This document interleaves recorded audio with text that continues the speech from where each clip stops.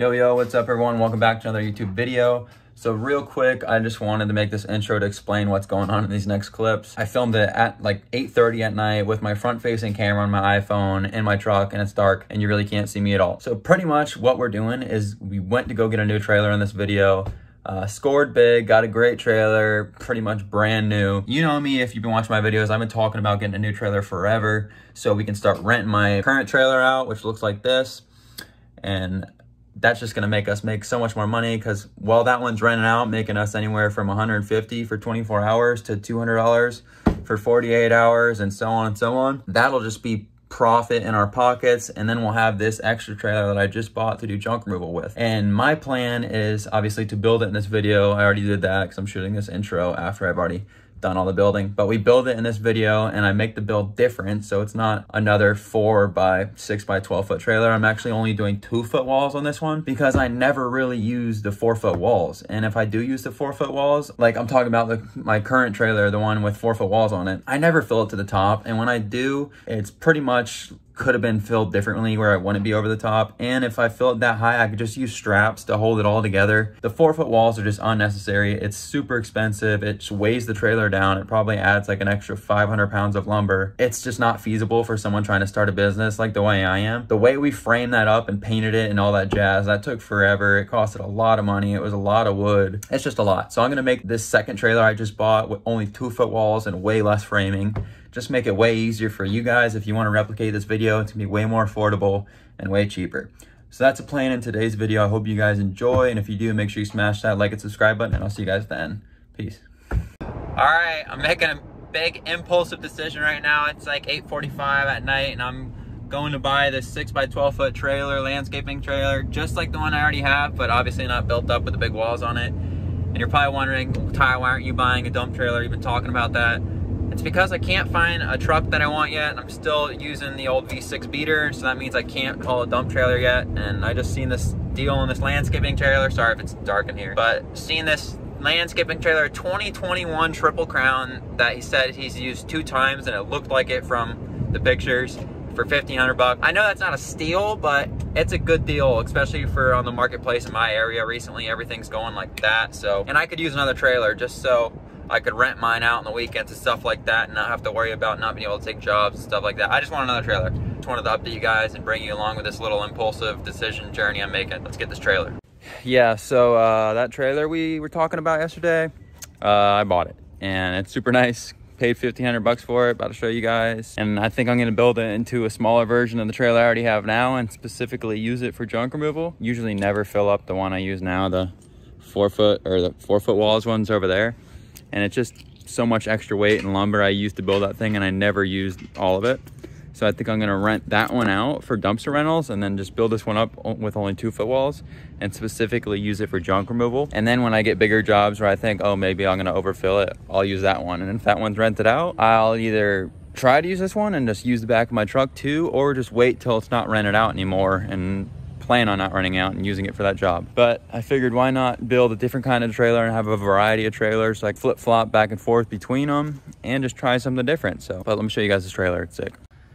So it is, uh, sorry, I'm parked right up on it. So my dad can park next to me, but 2021 Triple Crown um, thing is mint condition. I mean, look at the tread on the tires, original tires. the guy told me he bought it for uh, bringing his ATV to the track and he used it twice. I mean, I don't know where the thing is on the bottom. See, it's just like a pole, but you have to get that fixed. Literally all the lights work, blinkers work. The gate's a little bit different than my other one. I guess they changed it up on the 2021. See how it's uh what looks uh like that and then this one. But this one on my other trailer is like this. So see there's like a rail on the top and this netting's like under this. Another one it's not. But yeah, we got a pretty good deal on this. $1,500 for a trailer that's been used twice and 2021. So that's lit. So now I gotta go to Home Depot, get some lumber and start trying to build this thing. I'm gonna build it up literally just like that one, but instead of four foot walls, two foot walls. And that's gonna save me a ton of money and time. And it's gonna make it lighter and easier to pull. And like I said, if I do need a bigger trailer, I'll just use that one. And if it's rented out at the time, I'll wait till it's not rented out. and Just schedule the job out two days later. So that's the plan. Now I get to show you guys how to build junk removal trailer with two foot walls. So it's also more content for the channel. All right, what are we going with? Definitely, whoa, these are expensive. 53.60. Holy crap. That's too thick. This is too thin. Hmm. What is this? $85 a sheet. Huh. Oh, wait. Huh, lumber prices have gone down a lot. Ooh, no, no, no. Huh. This might be the one I'm getting. All right, we just finished up at Home Depot. Got the plywood, got the gallon of paint that I'm gonna use to make it weatherproof. We spent 89.54. Not bad, but I didn't have to buy screws because I still have screws left over from my last trailer build. And I think I have a few two by fours laying around I'm probably only gonna need like two two by fours because I'm not gonna put that much support. Because like I said the walls are only coming up two feet so I'm gonna be able to screw them into the railing like every 20 inches or so so it's just gonna be like really sturdy even without two by fours. But yeah we got the wood I'm gonna bring it home. It looks like it's about to pour so I don't think I'm gonna be able to paint today but hopefully we get paint started on painting tomorrow. All right you guys know the drill. Back to painting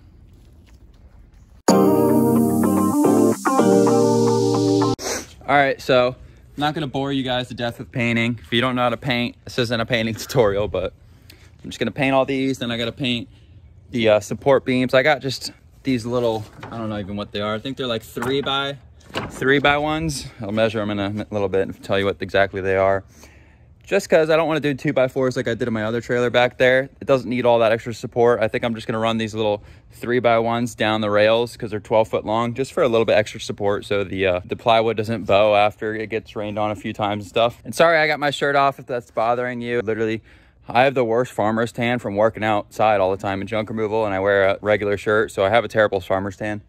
And now is a perfect opportunity. The sun's beating down. I'm in my own backyard. So I was like, ah, what the heck, let's get some sun and try to get rid of my farmer's tan. So that's why I got my shirt off if you're wondering. But yeah, I'm gonna paint this out. I already showed you guys a little clip of that. Then we'll do those. Let them dry over the weekend and then probably get this thing finished Monday. And then I actually have a crazy job scheduled Tuesday, but that's gonna be in a separate video. Throw the notifications on for that because it's my biggest job yet, but let's get after it. Wow, I am drenched. Second one done. Other one's drying on the trailer. I got to go do a job, so I just like got the rest of the paint out of the paint pan and just put it on those real quick.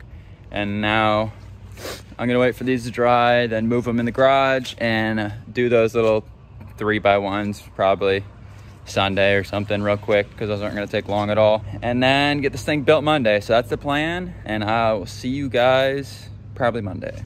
All right, so this part I'm just gonna voice over real quick. Uh, as you can see, we already cut the plywood. I forgot to record this part because my dad got excited and jumped on the build without me even being there. But when I got here, he had the two four by eight foot pieces of plywood already all ripped down the middle all we pretty much did was just cut them right down the middle because two 4 by 8 foot pieces of plywood is just enough to go around the whole trailer because it's 6 by 12 foot so it fits perfectly. But honestly it was a little bit too long just because it was inside the frame. It was like almost hitting the back gate and we wanted a little bit clearance just to be able to hook the gate on. It was like a few inches too long so as you can see here we're cutting those few inches off. And we just popped some lines and I'm letting dad do it obviously because he's way better at this kind of stuff and if I did this by myself, I probably wouldn't even have thought about popping lines. Probably would have just guessed. and once we got everything cut, we set it up and then we tacked it. And then now you can see me putting two by fours in the front corners just to make everything a little bit more stable and we can screw right into those. Once we did that, we went around the whole trailer and just used one inch Tapcon. I don't, I don't actually I don't even think they're called Tapcons um, self-tapping screws, that's what they're called. And we screwed from the inside out into the uh, trailer railing post all the way around the trailer, just did it on every post. And it made it super sturdy. these are the screws if you're looking for the kind of screws that I used. One by 7 16th inch and they fasten wood to metal. You have to go from wood to metal because it bites on the metal. You couldn't do it the other way around. It just wouldn't work. This is the finished product. Once you got everything screwed in, you can see those front 2x4s holding in nice. That really makes the front joints really strong.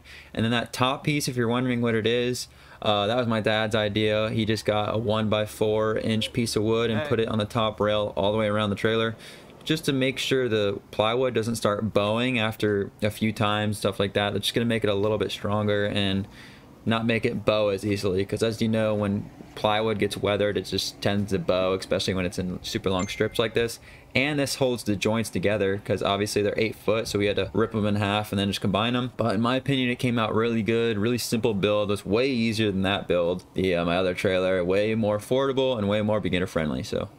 All right, so I hope you guys enjoyed that. I know I probably rushed the build a little bit because I was trying to give my dad a hand and build it at the same time. But I hope you got my point. It was pretty self-explanatory. We just got two pieces from Home Depot of four by eight foot plywood and the thickness of the plywood was 5 eighths inch thick. So pretty thick plywood. Originally, I got different boards, but my dad was like, let's go back, uh, you return these with a receipt and we'll get different plywood because he wanted to be a little bit thicker. And like I always tell you guys, I always listen to him because he's the contractor. And the reason he wanted to get it thicker is just so it doesn't bow over time. And he's right, because the stuff that I bought before, I just had it sitting in the garage for like a day, and it was already bowing, just sitting in the garage on the floor, just leaning against the wall. So it was probably a good thing when we went back and got that thicker plywood. And then we just stripped it completely down the middle, both pieces, and then we just laid it around the trailer and buttered it all together and then started screwing it into the railings from the inside out with those screws I put in the video. That was pretty much it. Everything went together good. And then you saw me put the two by fours in the front corners. That was just really to make the front corner joints stronger. Just screwed from the outside into those two by fours. And then the top piece, that strip that was running all the way around the perimeter of the trailer on the outside, that was just a one by four, 12 foot. So that was the perfect length. We didn't even have to really cut it. it we got three pieces of those one by four and they were 12 foot long. So one of them we just had to cut in half. So we have an extra piece, a six foot piece laying around. That worked out well. That wasn't even in my blueprint for the build, but my dad thought it was a good idea. And like I said, he knows better than me. So we just threw that on just so the plywood doesn't start bowing over time, like super quick. It'll hold it together. And since we had to connect two pieces of plywood, because the plywood's eight foot long. So the longest piece was eight foot, then the back piece that's right before the gate was four. That adds up to 12 and we had to connect those somehow. So that piece uh, connected on perfectly. And yeah, that's the build. I hope it wasn't too confusing for you guys. I think it came out great. I think it's gonna get the job done. I never, like I said, I never really filled my four foot walled trailer to the top. That one's 10 yards, so that means this one's completely just like cut in half. So this one's a five yard. And I think it's just gonna be a little bit more feasible. It was a lot easier to build, way cheaper. I spent right around $125. I calculated it but I saved money on those screws because I used the same screws I used in my last build and I had that extra 2x4 laying around. So the receipt from Home Depot was like $97 and some change for the wood that I bought. And the only money I saved was on the screws and those were like $13 screws and then that one two by four that I had in my garage. Two by fours I think are like eight bucks right now or something like that, the eight foot long ones. So I probably saved like 20 bucks on the build from materials I already had. So realistically, the build cost right around $120. And if you wanna mock this build up and do it for your own junk removal or pressure washing or landscaping service or whatever you're doing, go ahead. Because in my opinion, I think it came out great. But yeah, that's all I got for this video. I hope you guys enjoyed it. If you did, make sure you smash that like and subscribe button for me. Comment below if I skipped over something or forgot to mention something. I usually do that. So if I did, just drop a comment. I'll try to answer it and I'll see you guys next video. Peace.